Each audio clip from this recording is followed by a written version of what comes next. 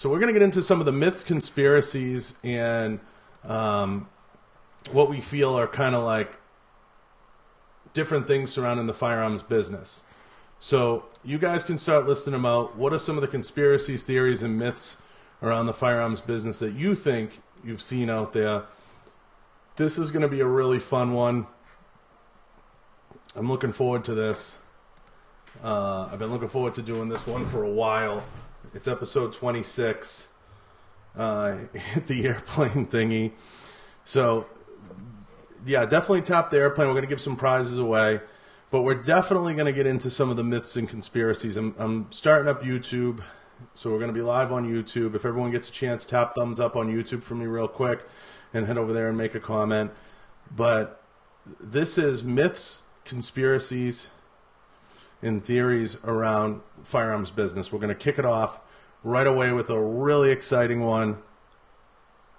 We're going to talk about why the Glock is not the best concealed carry gun. And we're doing this kind of tongue in cheek as we always do. It's a little bit of fun, a little bit of, uh, you know, poking holes in some things. And I want you guys' opinion. I want you to chime in. And yes, Cassie, to an extent, yes, it is. Don't lie, but we're going to get into the into the why. You know, uh, diving right in. Obviously, many of us think it is, but we're going to dive right into why it might not be. So, theories. Okay? Theories as to why it might not be. And we're gonna we're gonna peel back the layers. So it's not perfection, but it's reliable. Great point. That was actually going to be my next one, 717. That's an excellent point. It's not perfect, but it's reliable. Okay? Absolutely number one. You hit the nail on the head.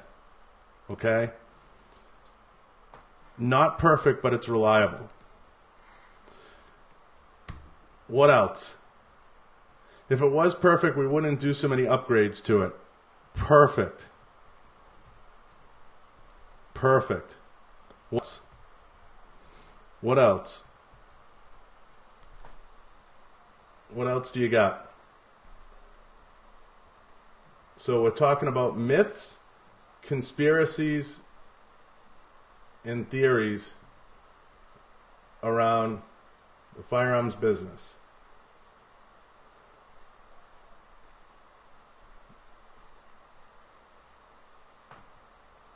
There's a lot of upgrades for it.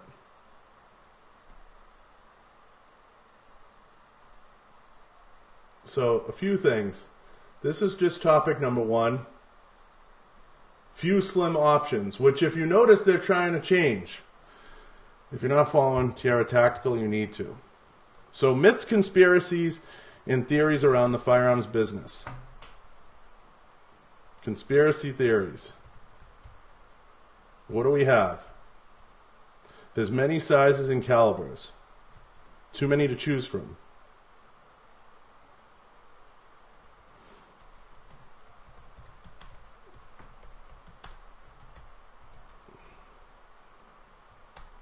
So, what are more myths, conspiracies, and theories around the firearms business? What's up, Johnny Targets? So after a few long days off, we get into a topic that's a lot of fun to talk about.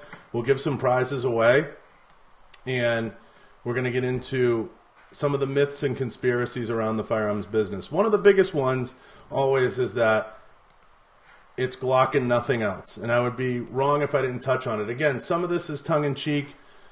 Some of this is, um, you know, uh, you know,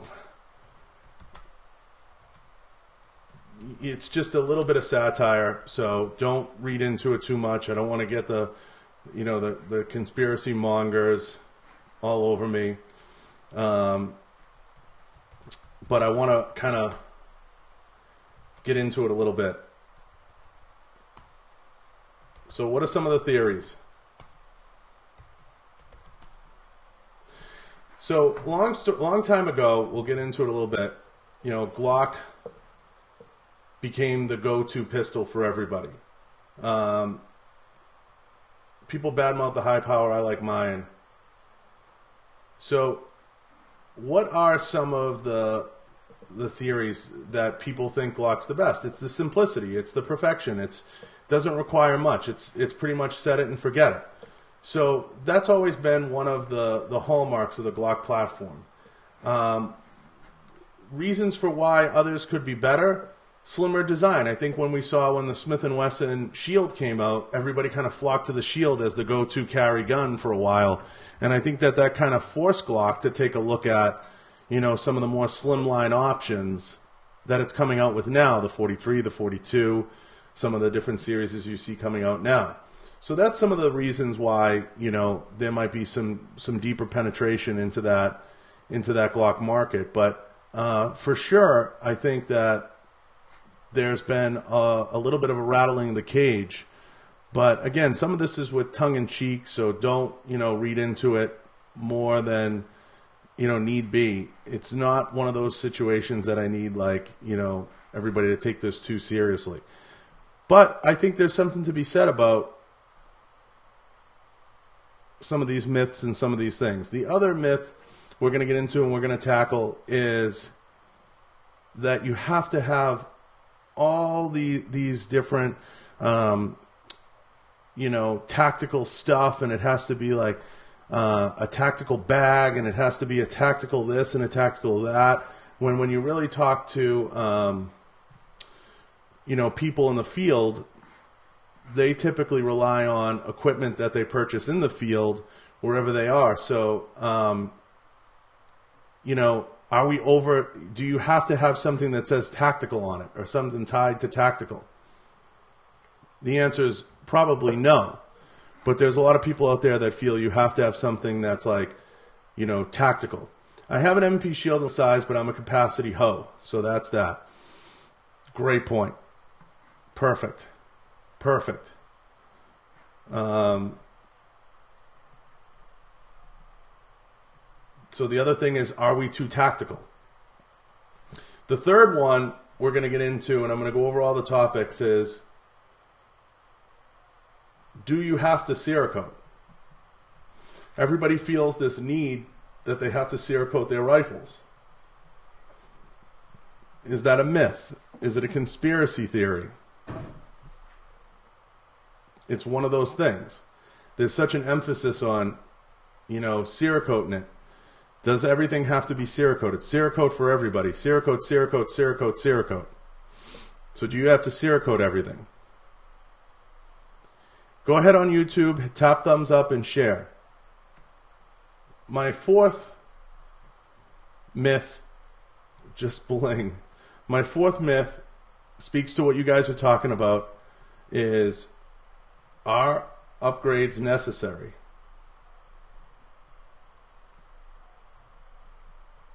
Are upgrades necessary? And the fifth one we'll see if somebody comes up with. So, starting at the top with the why Glock is the best concealed carry. Is it a conspiracy? Is it a myth? Is it true? Are there other options out there that are just as good, but we've been so, you know, brainwashed into it's a Glock world. So there's there's a lot of things. And again, I will tell you my personal beliefs. I personally believe, you know, Glock is one of the better options out there for the concealed carry enthusiast because of many of the factors that could be brought up as to why they're not.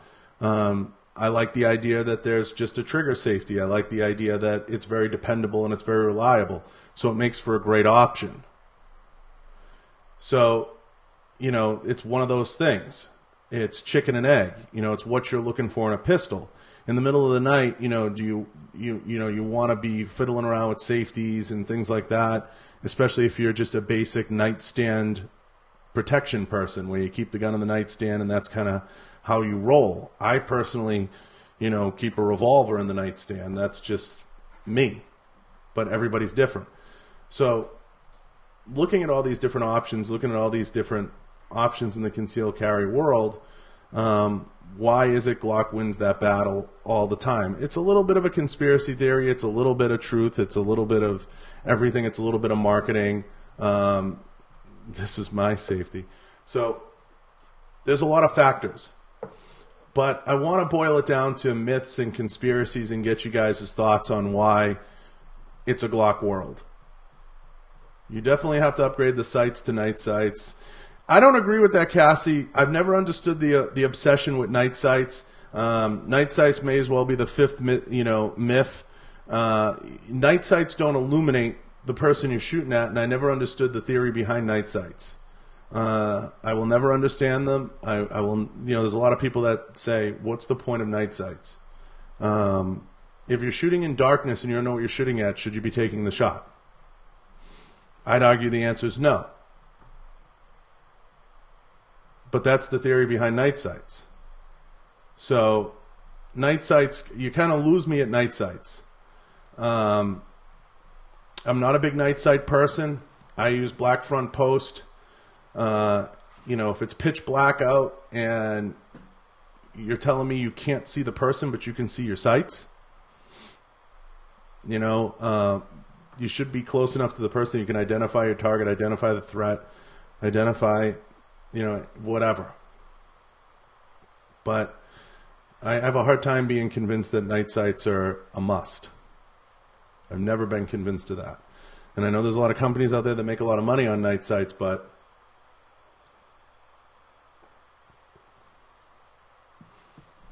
Yep. Yep. I mean, lights lights have a better place, and you'd be surprised how you use lights.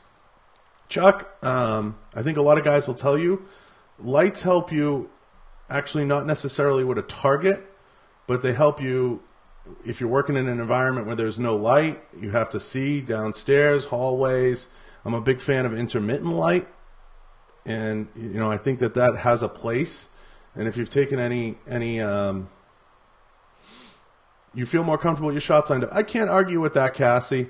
Uh, but you know, we, you know, night sights are definitely a little bit of a conspiracy theory and a myth, you know, and I'm willing to let this conversation kind of take its own path, especially what you guys deem are myths or conspiracies around the firearms business. Night sights would definitely be high on my list as a big time conspiracy theory. I would love for someone to articulate to me how night sights make sense, and I think Cassie, you hit the only point that could make sense. It's lining up your sights. I'll buy that.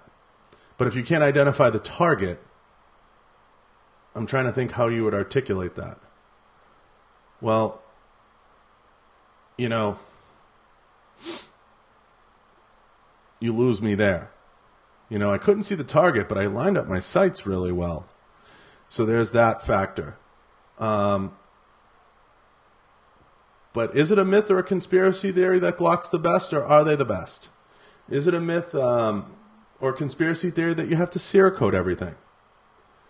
Are upgrades completely necessary?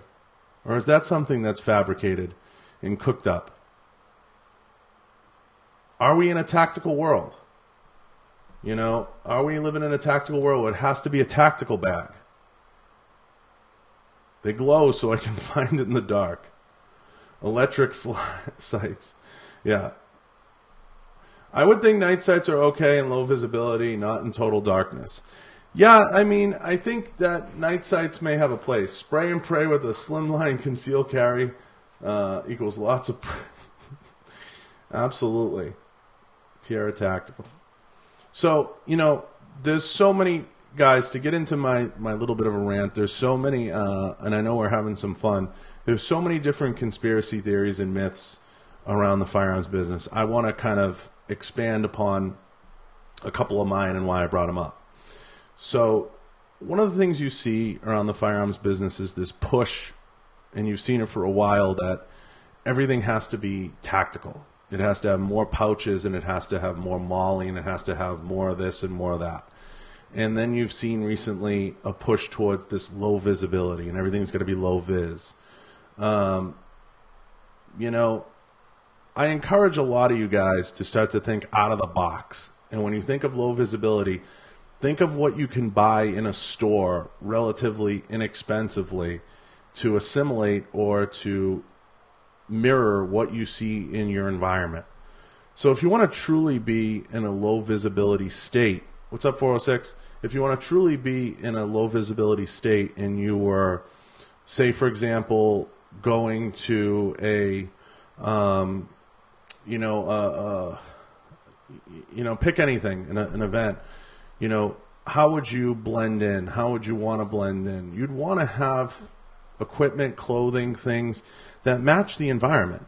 If I'm going to a frat house and I want to appear to blend in, you know, you may have a polo shirt on and khakis or whatever, you know. Um, you know, if you're walking a college campus, you want to look like you belong on that college campus. If you want to, you know, when you start to think about low visibility, you know, it's one of those things, you know, you don't have to buy everything that screams tactical or tactical. I usually encourage people um, to think out of the box, pop the top, exactly. So, some of the myths, conspiracies, and things we see in the firearms business are things like, you know, night sights. Well, how, how does that help you identify the target? I like my night sights because I use my light to initially identify, but therefore to control the target. Light is a great control, but I do not always want to give away my position. Absolutely. That is the textbook answer, and I know why you gave it, you son of a bitch. But that is the textbook answer to why it makes sense to have night sights. Now, does everybody have that type of training, you douchebag? Because I know who's behind that account. Does everybody have that type of training? No. It's one of those things. Unless you've taken a low light course or you've had some low light training, you can use light in a lot of creative ways, whether it's to paint an area or to to you know to to light up certain certain points and identify, but not everybody has that type of training. Cassie says, as far as tactical goes, gray men blend. Gray men blend in. Yeah, I mean, I think gray's been the go-to for low visibility, but I disagree. If I'm going to a tennis match, I'm buying a tennis racket bag. You know, so there's not a cure-all for that, and it doesn't have to have tactical in front of it. I know if I'm operating in an urban environment, I'm getting stuff that's very urban to that area. You know, if I'm going to a gym, I'm using my gym bag that's like maybe a six pack bag or something like that. You know, you, you have to be very careful because to the trained eye, you know, if someone's going to pick up on it right away. So we don't have to live in a everything has to be tactical world. For those of you that headed over to YouTube, thank you for tapping thumbs up. And please take a minute to share. So there's a lot of myths and conspiracies around, you know, what the gun industry shows you and what you have to buy and what you don't have to buy. Cerakote's a big one. Everybody's, you know, constantly, you know, on the Cerakote train. You know, you have to have everything Cerakoted, everything has to be coated, you know, and so on and so forth. That's a big one. But you don't necessarily have to live in a tactical world only. You know, a lot of people, you know, I, I get a lot of stuff sent to me that's known. A lot of people talk about, you know, clothing. I wear a lot of Lululemon. I wear a lot of stuff like you see me on in this podcast. Um, that's, you know, that's my go to. Um, that's how I am. You know? That's my go to. Is more what I can buy in a store, what I can buy in a mall, what I can do, you know, in a very low visibility scenario. I like to be dressed, you know, if it's if the environment calls for flip flops, you're damn right I'll be in flip flops. You don't want to be, but if that's what the environment calls for, you know, um, that's what I'm going to wear. So, you know, I think everybody has to take a step back, and I think the the over tactifying of things is something that definitely comes up a lot, you know, in conversation. So, a few things kind of come to mind. So, my next point And the next thing I want to get to is do you have to Cerakote? Does everything have to be Cerakoted? Does everything have to be, um, you know, a Gucci gun?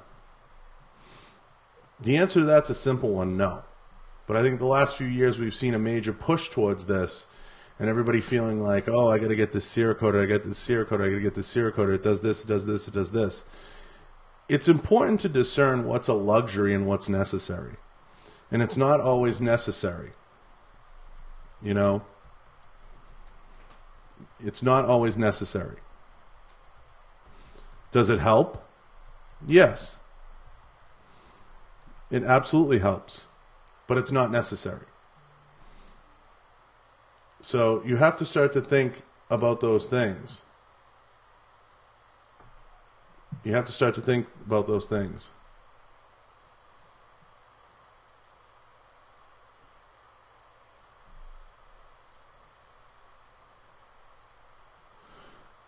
Anyone have any questions?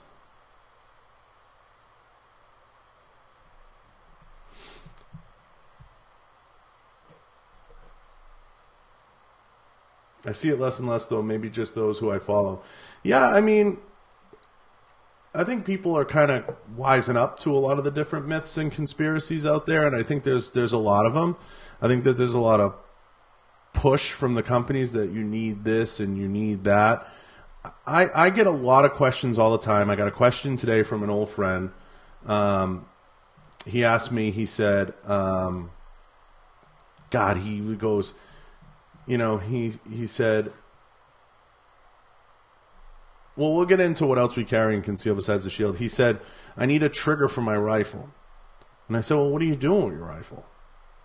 You know, and I feel like that's something we keep coming back to is what's the goal? What's the goal? So, question got asked aside from Glock and Shield, what else do you carry, conceal, or like? Uh, me personally, I'll give you five guns that are great guns for carry, conceal, and give you all the different options you could ask for in reliability and consistency. So, obviously, I'm just going to name manufacturers and I'm going to go right down the line and I'll give you my why. Obviously, Glock. Glock is a phenomenal conceal carry. It's reliable, it's dependable. The gun just runs. It just runs. So obviously Glock. Second, obviously Smith and Wesson, especially because of the shield. The shield is a great option. Okay? Phenomenal. And you can after 1 and 2, you can pretty much move these in any order you see fit. I think the last couple years SIG has come out with some really good options. I think SIG has come out with a lot of options that make sense. And I think if you're not looking at them as a little bit of a dark horse or someone that has some really cool poppers, you got to give them give them a look. You got to give them a look. Um, yeah, and you know it pains me sometimes to suggest them because they took so long to embrace striker fire, but they're there. They're there you know, um, and they're starting to embrace it, and you can bet your ass they're going to get it right. Fourth, I think a great gun. If you were to ask me, you're not a gun. Let's let me set the tone for this answer. You're not a gun person.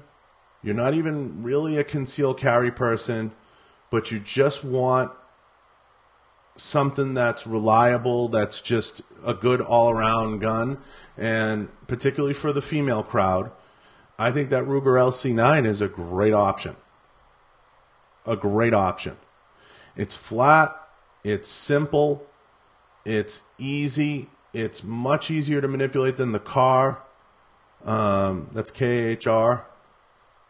And I think it it offers a lot. And if I had a loved one, a female, or someone that I just, you know, um, yeah, it just something simple. I, I, I would have a hard time not recommending the Ruger LC9. I think they've done a great job with that, and I think that gun makes a lot of sense. Uh, no. You never buy a new edition gun. You wait till the second edition. Third, the the last one the fifth option you know, um, and I said Glock, Smith and Wesson, Sig, and then it's a huge drop off, and we get into some of the other stuff. And I was just to say this, um, you know, Taurus would be one as we get into that budget, like the Ruger LC9, we get into that budget space. You'd be crazy not to look at them. I mean, I understand what everybody's saying. You, you get to that point where there's some drop off. Yeah, Gunjitsu, the TP9 is great, but now you're getting into more some of the, the fuller size guns. We're talking about like strictly from a concealed carry standpoint.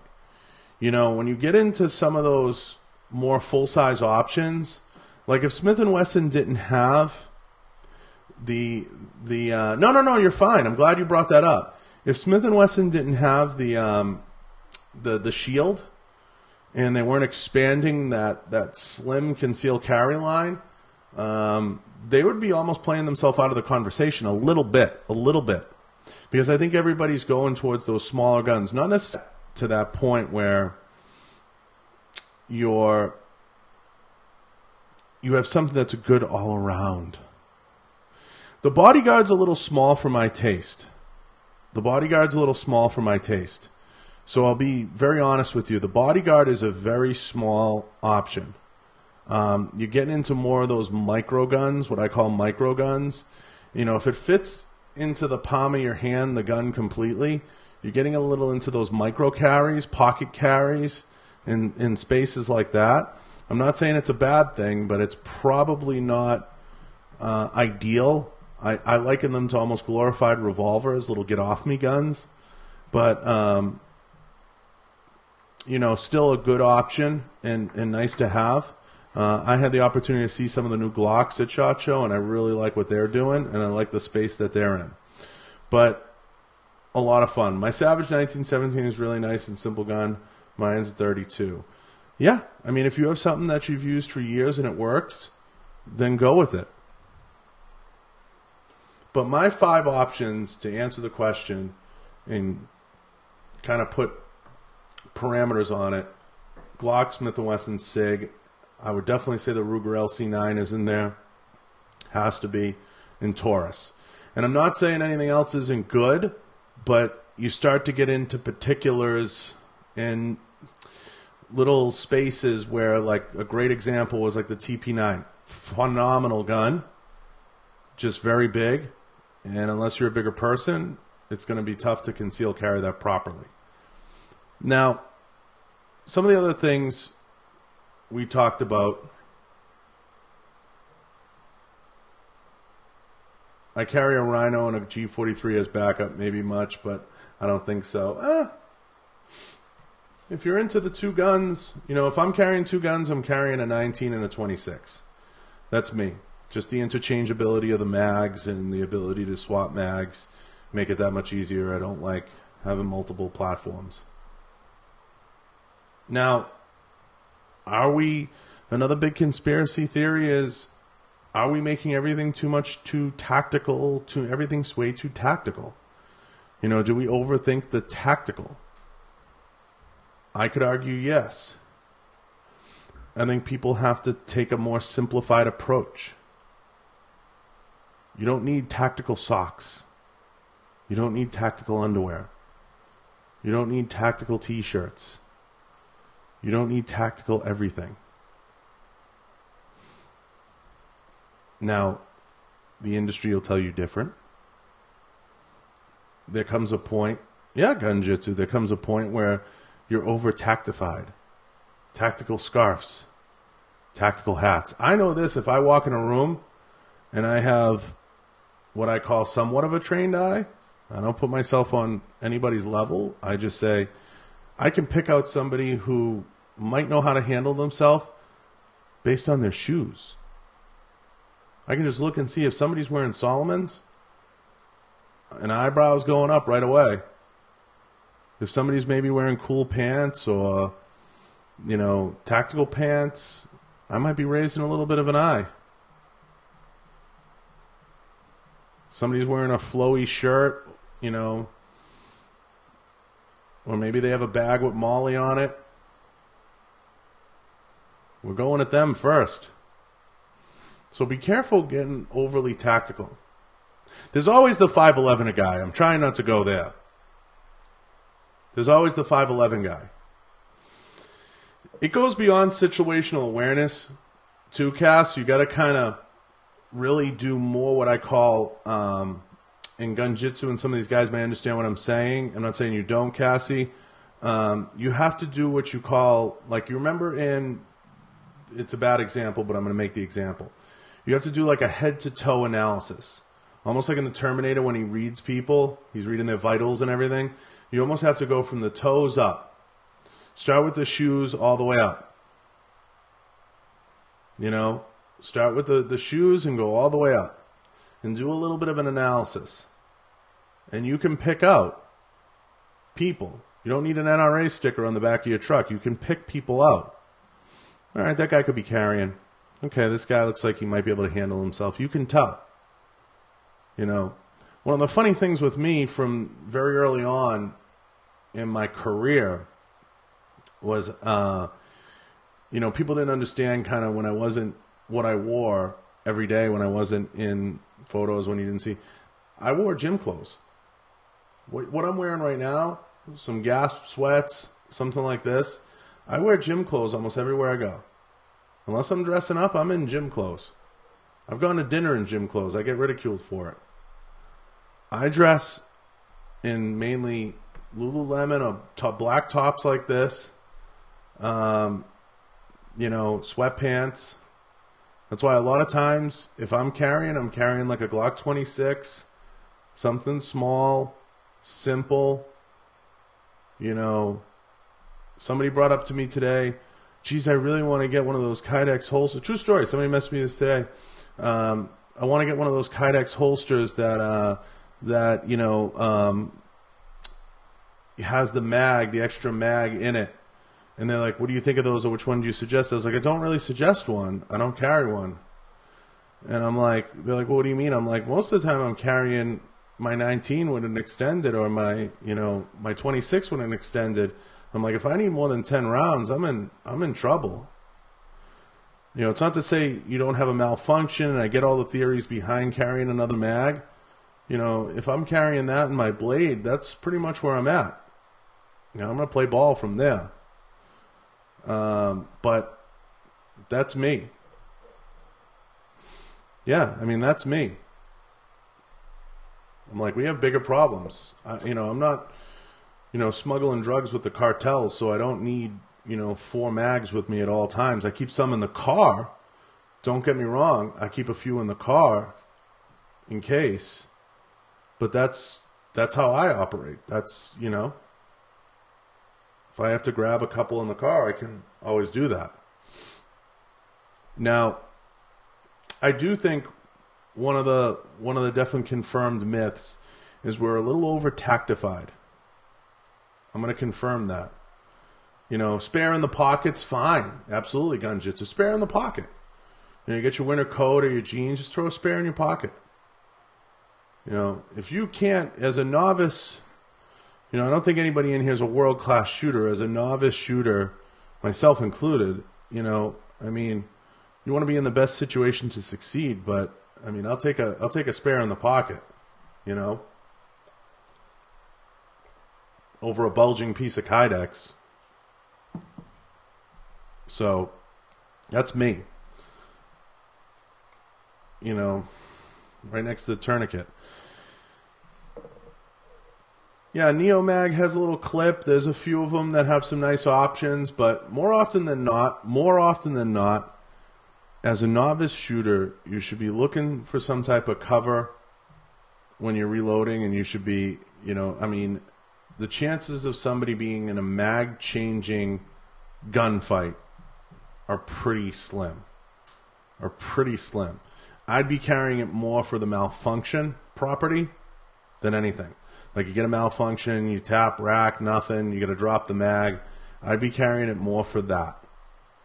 The likelihood of somebody, you know, having 10 rounds or better and needing 20 in a, in a shootout are pretty slim pretty slim. They're less than even being in the shootout in the first place.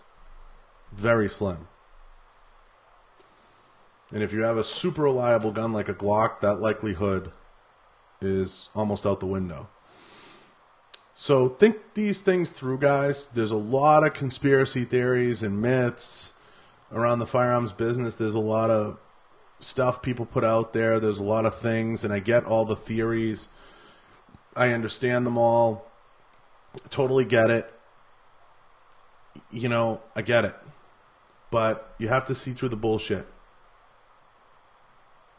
Most people will never fire a firearm for self. You hope. You always hope.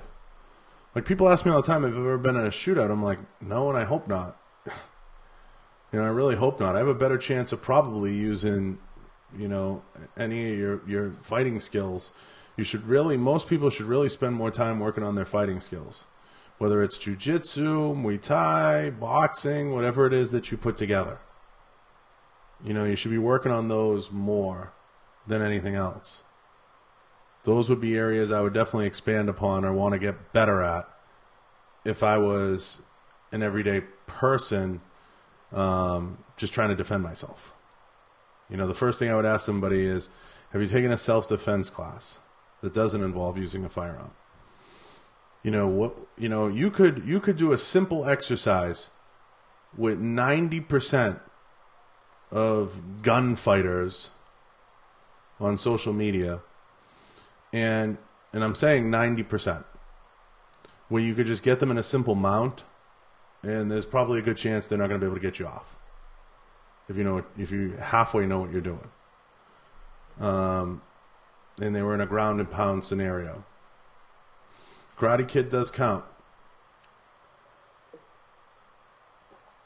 You know, I would recommend to anybody, you know, at the very least, go go do some some jujitsu for a little while, go do something, you know, learn how to strike, take a boxing class or two. You know, you, you got to have a, a, a plan A because the gun's really a plan B in many ways. Because there's a solid chance it's going to start with a physical altercation unless you're robbed or you're in a home invasion scenario. So, you know, most of the time, that's where it's going to begin. But there's something to be said with the over tactifying of everybody with keeping it simple. And that's kind of what I'm getting at, guys. That's the tongue in cheek in all of this is keep it simple. Keep it simple. You know, keep your conceal carry simple. Keep your holster system simple. Keep your clothing and what you wear on a regular basis really simple. I get a lot of people that ask me all the time. I had someone uh, again just recently ask me, say, I'm taking a course with so and so. You know, it's a low visibility class. It's just a concealed carry class. What should I wear? I go, wear what you wear every day. Wear what you wear every day. I mean, yeah, when I'm on the range, there are times I'll wear like more like tactical pants, but that's because I have so many things in my pockets. Like if I'm RSOing and I'm involved with it on a certain aspect, I make sure I have like tools in my pocket, stuff in case I got to fix a gun for somebody or do some something. You know, don't don't overdo it. Don't overdo it. Keep it simple, simple, simple, simple. And to answer the other conspiracy theory and myth, is Cerakote necessary? No. Um, elastic waistband shorts. Uh, I wear a company, the pants and shorts I wear, Cassie, are a company called Barbell Apparel. To me, hands down, they're the best in the business. Hands down. I wear them or I wear Lululemon.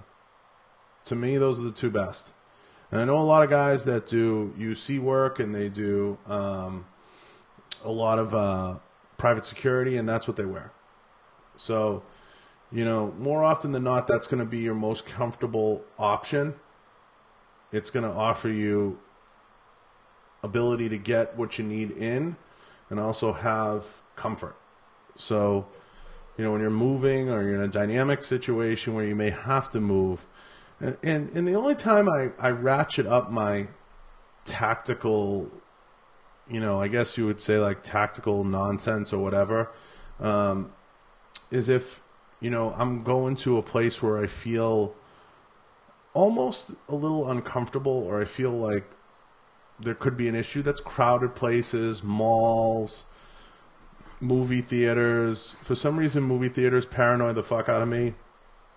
You know, places like that. You know, but Barbell Apparel is a company. You know, send them a message, tell them I sent you. You know, stuff like that.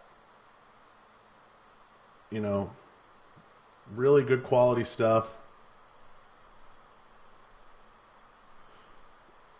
So we're going to give away another batch of magazines from Mission First.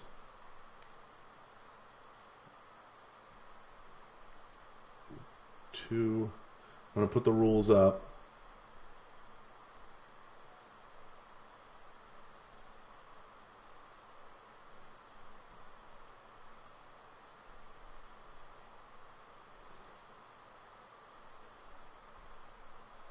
Putting the rules up now. I got another batch of Mission First Tactical mags. I'm going to give away.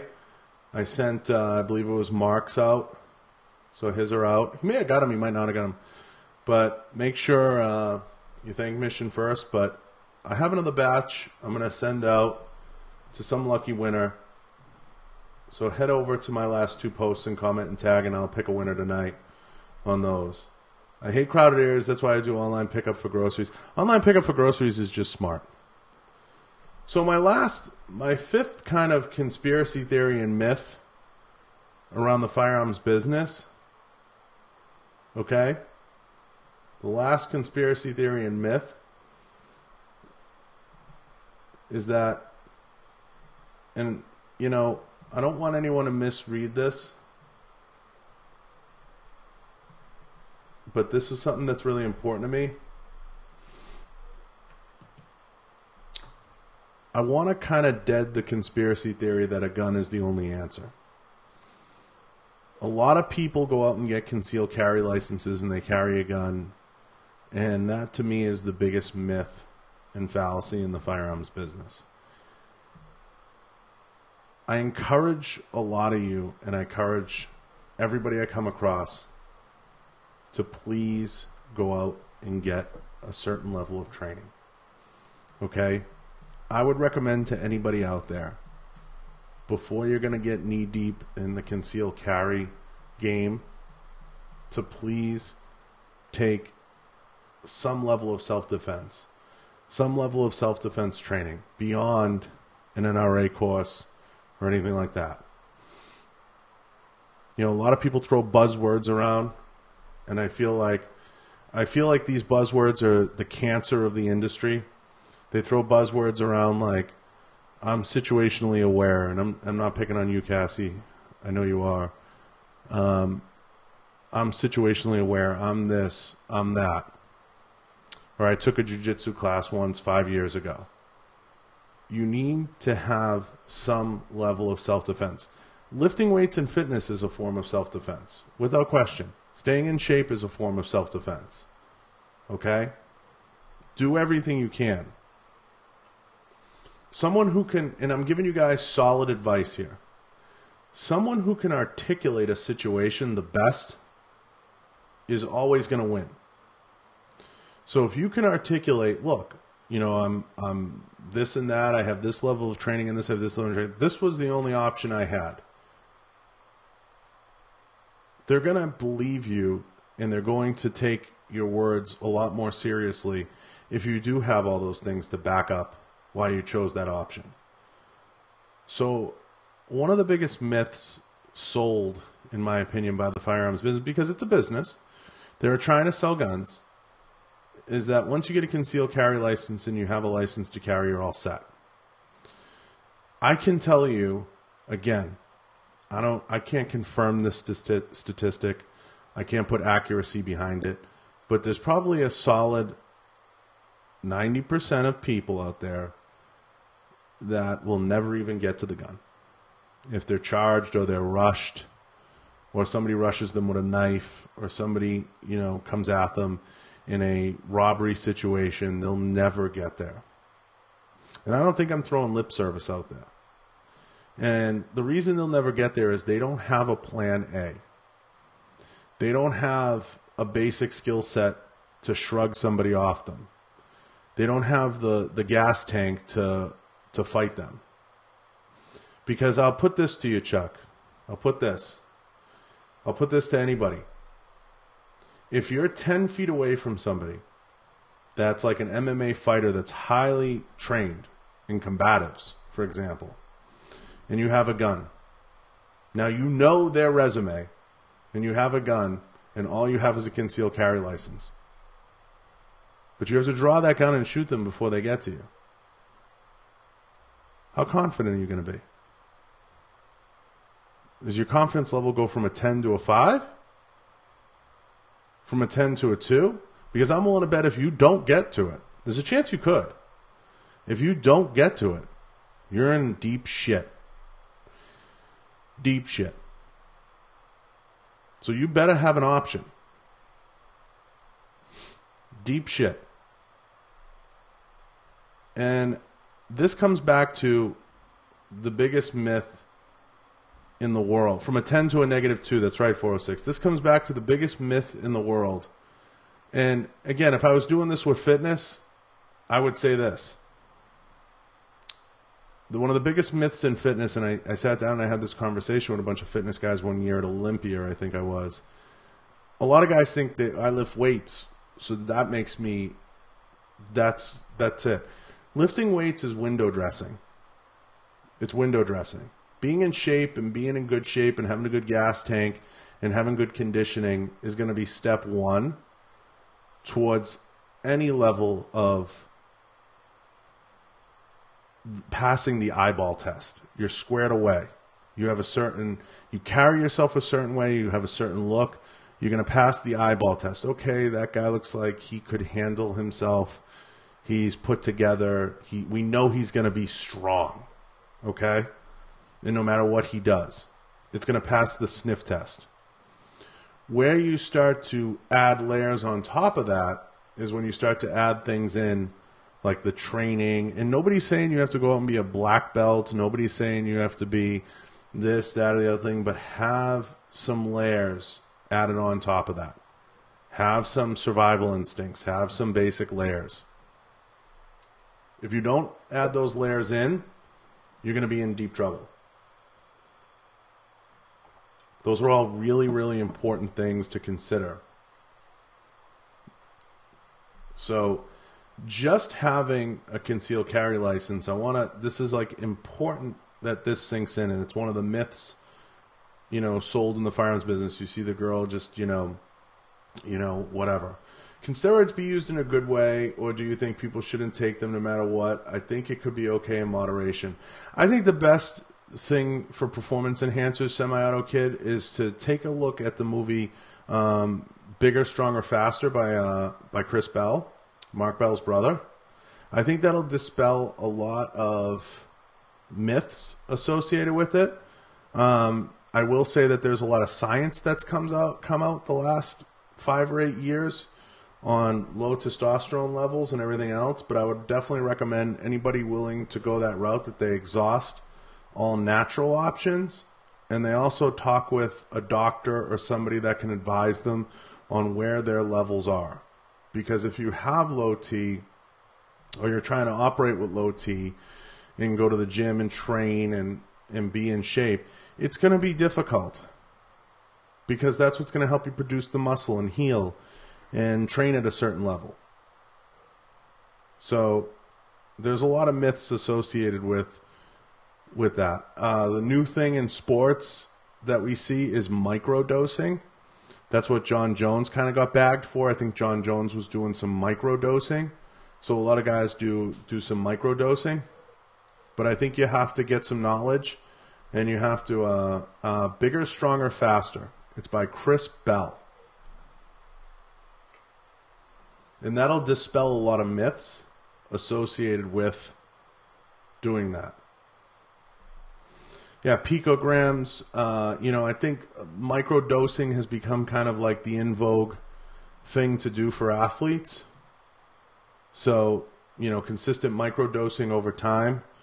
But I think it's just about knowledge. And my prediction is in the next, I've said this the other day, I think in the next eight or 10 years, similar to, to, to marijuana, I think you'll see things relax on some levels of performance enhancement because it's just becoming one of those things. It's so commercialized.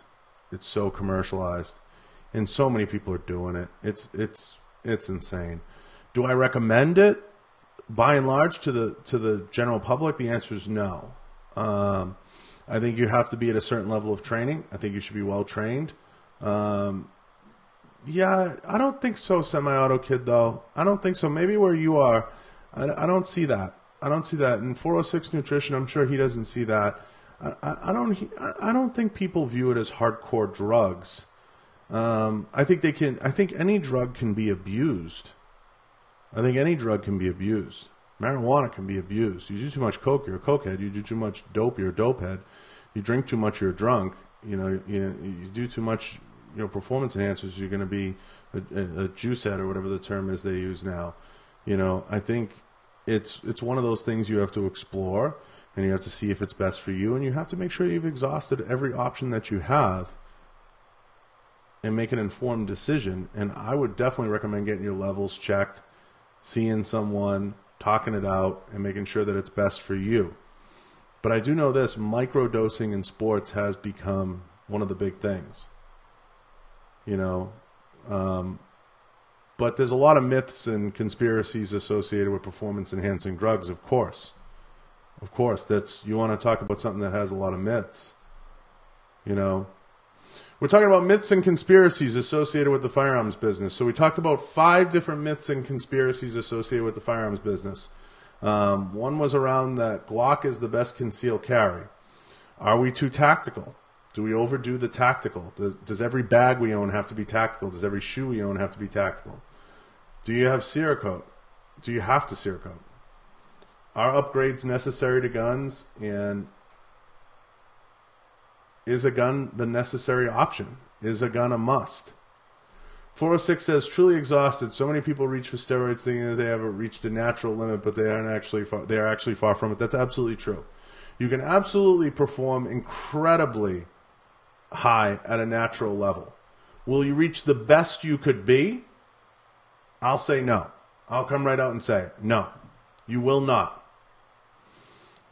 But unless you're standing in front of me and you're telling me that naturally you've reached the peak of your performance, and if that's true, there's probably a solid chance um, that's not true. Now, 406, are there other things that come into play? Stress, daily life, everything else? Yes, absolutely. There are other things that come into play where where layering that on would make some sense. And looking into it as an option would make some sense. If you're a high performance athlete and you're training at a high level, um, where maybe you're on the range two, three times a week, you're training a martial art, you're in the gym. You're in the gym four or five times a week. You're going to be wearing your body down. And where any performance enhancement is going to help you is going to be with the healing and the recovery more than anything. More than anything. It's more healing and recovery. So, the thing I tell everybody is it's not just about pumping your body full of whatever you can pump your body full of and saying, uh, fuck it. You know, uh, I'm just going to take a bunch of shit and I'm going to go rip weights. That's not going to work.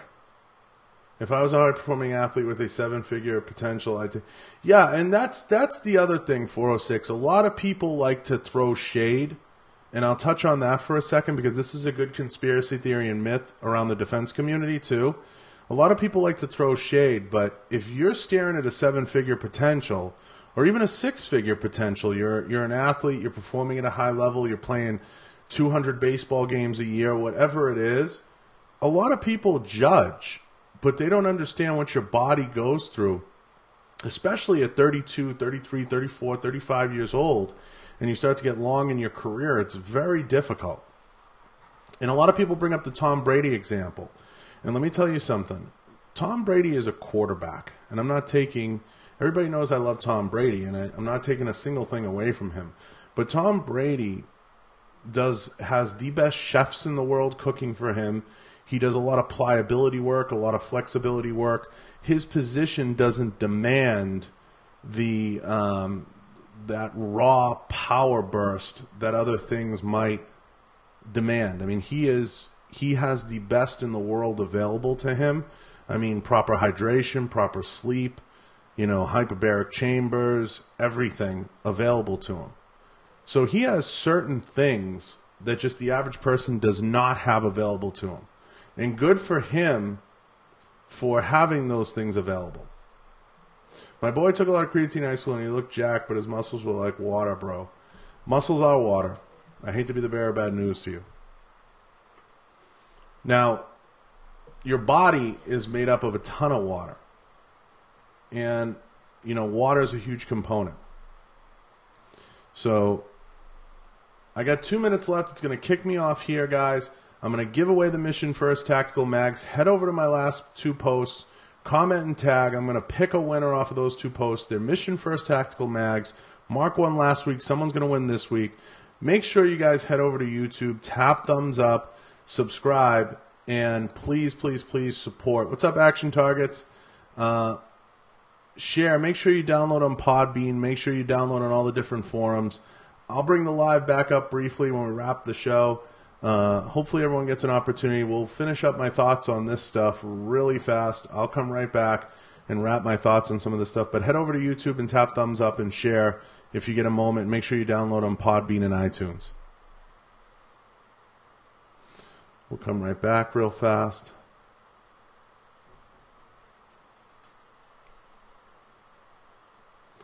So hopefully everybody gets the gist.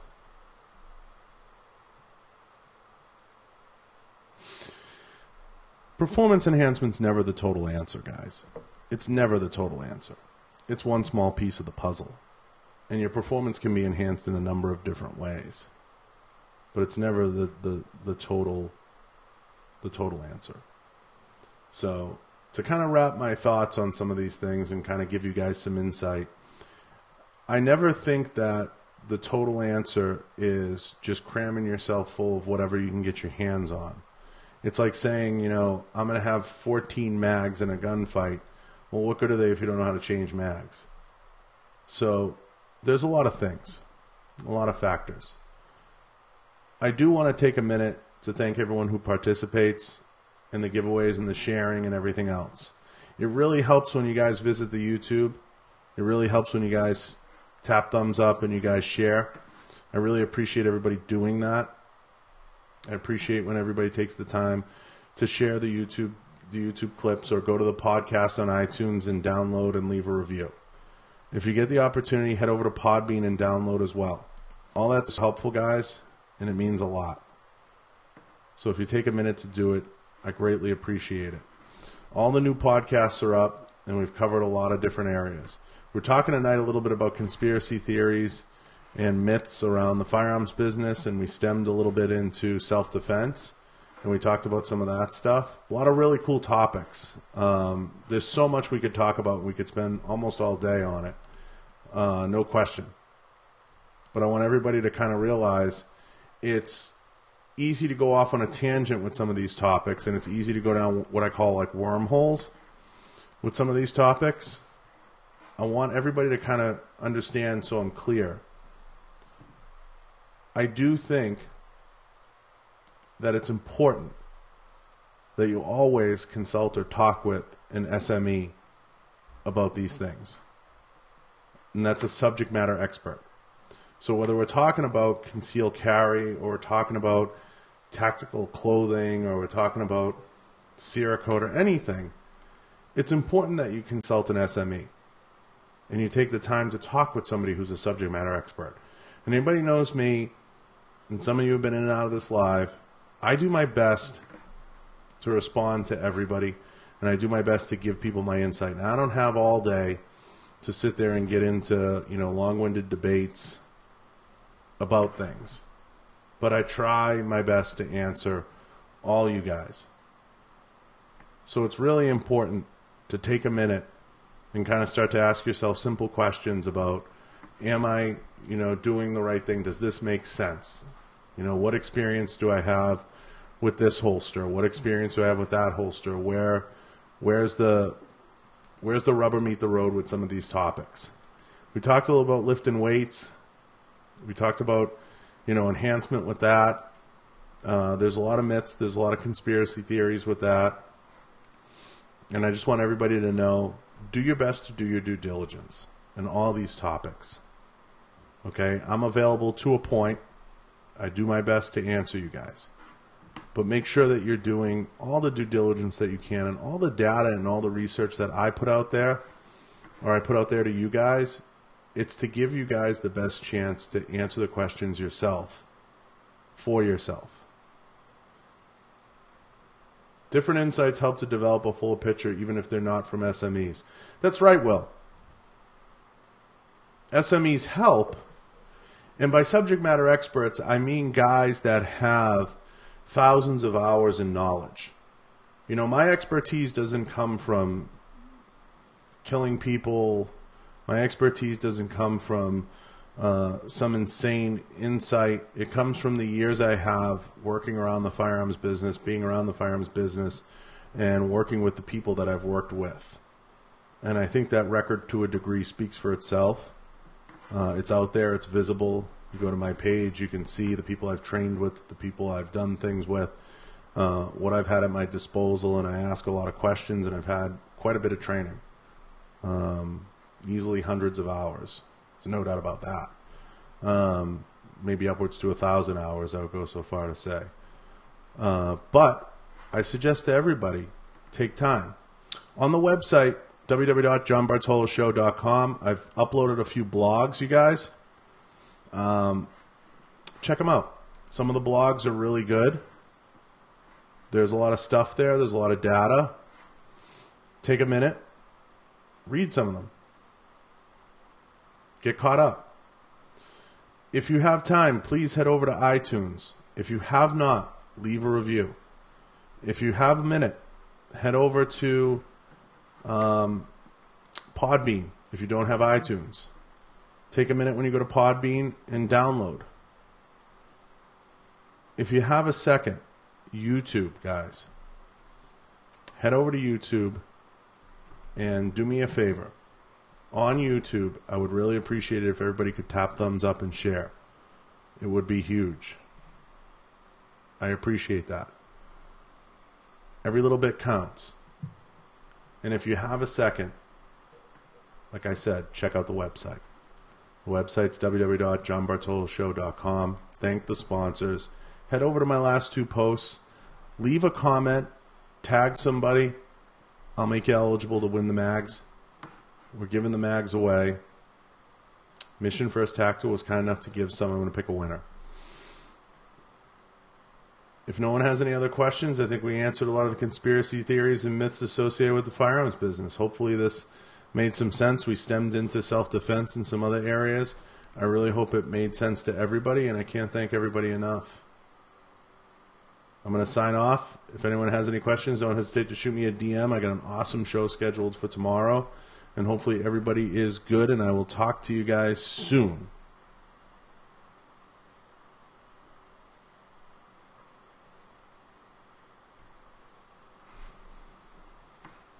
We are out.